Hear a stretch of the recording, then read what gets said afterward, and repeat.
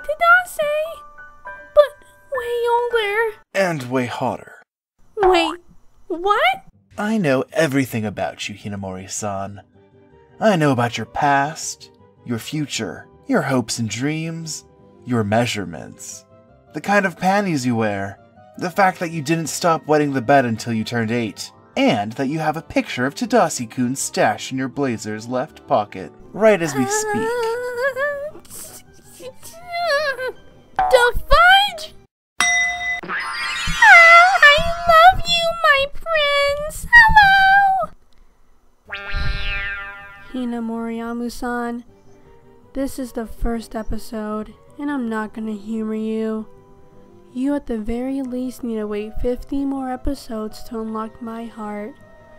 So please take your seat. We're in a freaking meeting right now. Girl!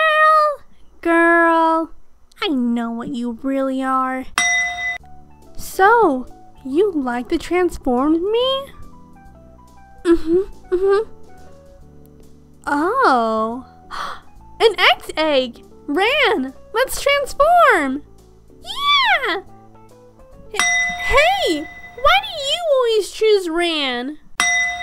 Sorry, Shorty. You need to be at least this tall to ride me. What? What? Wow!